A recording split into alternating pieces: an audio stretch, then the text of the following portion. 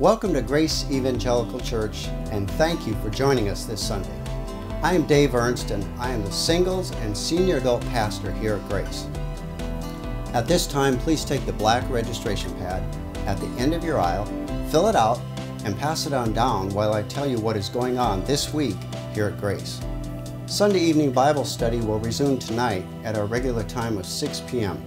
I will be leading us through chapters 22 and 23 of A Praying Life. Hands of Grace will be meeting tonight at 5 p.m. If you are interested in reaching the St. Joseph area for Christ, we invite you to join us. St. Joe Serve is October 8th from 9 a.m. to noon. Make sure you note that this is a Saturday. We will have our work areas picked out by next week sign up at the info desk and let us know that you are willing to serve and in what capacity. Our Deeper Life Family Fall Festival will be on October 16th.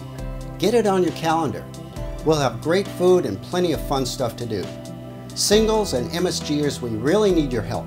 Please sign up at the MSG Singles Kiosk if you would like to help out. Anyone may join us for nursing home ministry this Wednesday, September 28 at 3.30 p.m. at Laverna of St. Joseph.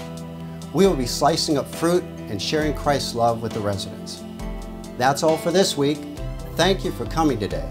Please be sure to check the website or your bulletin for more details on all this and more.